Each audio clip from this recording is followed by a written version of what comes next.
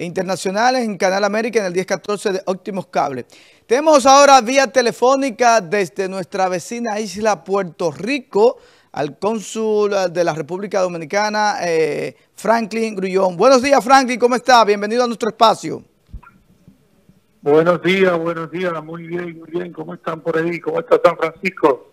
San Francisco está excelente, con mucho calor y expectativa de la tormenta tropical Dorian, que a propósito eh, queremos saber eh, eh, los preparativos y cómo se encuentra Puerto Rico, usted que, que está allá representando dictamente nuestra República Dominicana. Muy bien, pues estamos en espera de lo que es el desarrollo de la tormenta.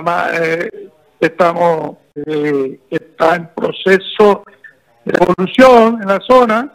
Eh, todas las autoridades pendientes, los refugios preparándolos, nosotros estamos visitando la zona eh, vulnerable donde hay una incidencia importante de dominicanos.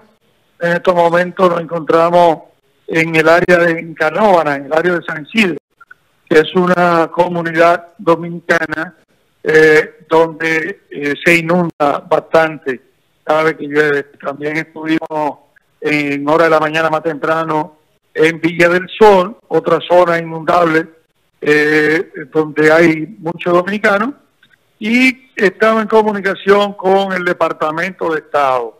Y el cuerpo consular eh, completo se ha estado reuniendo en, la tarde de ayer eh, y coordinando con los servicios de emergencia de Puerto Rico para que cualquier eventualidad que suceda, pues está preparado y poderle, poderle eh, eh, responder a nuestra comunidad.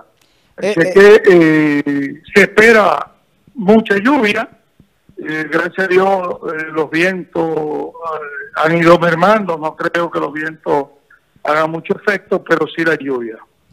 una pregunta. Eh, hay mucho temor, eh, de hecho, eh, me gustaría aprovechar y preguntarle, sabemos que en Puerto Rico hay muchos dominicanos que residen allí, pero luego de la, del último paso de, la tormenta que destrozó gran parte de Puerto Rico, muchos han emigrado, incluso han regresado a la República Dominicana. ¿Qué dicen esos dominicanos que están allá, el temor que tienen y si, se están emigrando a Estados Unidos o están regresando a la República Dominicana. ¿Qué, estadística usted maneja, señor cónsul? Sí, fíjate, eh, básicamente es una preocupación, porque la experiencia de, de María, del huracán María, eh, fue muy fuerte. a raíz del huracán han salido muchos, no solo dominicanos, sino puertorriqueños, han salido muchos hacia Estados Unidos y el país. Eh, tenemos cantidad de dominicanos diarios eh, visitando el consulado en busca de documentación para regresar a República Dominicana. Eh, hay una situación que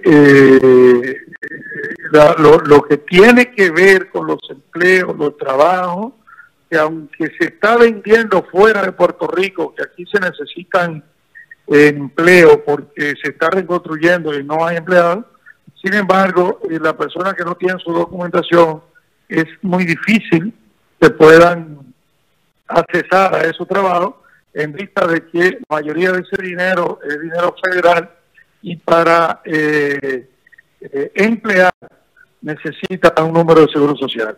Bueno, los dominicanos, los dominicanos igual que los puertorriqueños están un poco preocupados, pero esperamos en Dios que la situación no sea de la magnitud de lo que pasó eh, con el huracán María.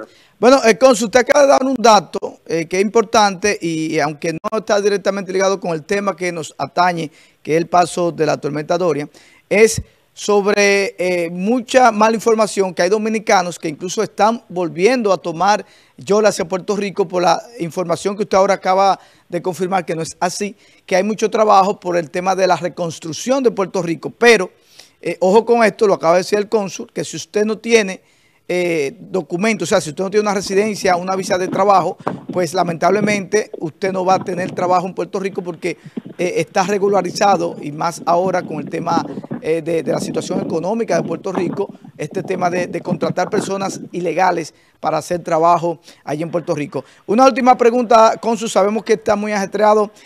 los dominicanos, ¿dónde están mayormente ahora mismo en Puerto Rico la mayor cantidad de patriotas allá eh, eh, eh, en la isla y, cuáles son las medidas que, se le está dando a los dominicanos residentes allá y si, por ejemplo, que ahorita vamos a hacer contacto con, la gente de Ferries del Caribe, si están todavía, si no se ha, parado los viajes, o sea, en ferry del Caribe o en avión hacia Puerto Rico y viceversa. Sí, eh, el área donde tenemos la mayor cantidad de dominicanos es en San Juan, básicamente en Barrio Obrero, Villa Palmera y Puerto Nuevo. También en el área de Canóvana, en, lo que es la comunidad de Villa Hugo 1 y 2, eh, una comunidad básicamente dominicana, la comunidad de Villa de Sol eh, y eh, el área de Bayamón, en la ciudad de Bayamón y Caguas. Pero tenemos dominicanos en todo Puerto Rico. Eh, se están anunciando los lugares de los refugios. En eso nosotros estamos visitando las comunidades para eh, decirle dónde están los refugios, eh, a qué teléfono llamar, que le estamos dejando de manera directa cinco números de teléfono, eh, los, tanto los, míos celulares como de compañeros que, designamos para estar pendientes de lo que pueda presentarse Estamos en comunicación directa eh, con las autoridades eh, de Puerto Rico. Eh, nos están llamando del Departamento de Estado siempre para darnos las últimas informaciones del movimiento de, la, de, lo que es el, fenómeno. Y el ferry hoy suspendió el, los, el ferry el lunes de aquí, lunes, miércoles, viernes el día de hoy fue suspendido eh, en espera de, ver cuál era la situación. Eh, estamos eh, dependiendo todavía los vuelos no han sido suspendidos, pero pienso que en, ya más entrada la tarde y principio de la noche, pues se tomarán precauciones. Eh, Consul, ¿para cuándo? lo que estamos, estamos informando a la comunidad, estamos en espera de lo que viene, sabemos que va a haber, va a haber mucha agua. Puerto Rico eh, no se ha recuperado lo que fue el huracán María y eso es lo que ha creado un gran nerviosismo. Los supermercados prácticamente se han vaciado, no hay agua en los supermercados porque todo, todo el mundo se ha estado preparando para eh, cualquier situación eh, que sea peor de lo que nosotros esperamos. Franklin, dos últimas preguntas.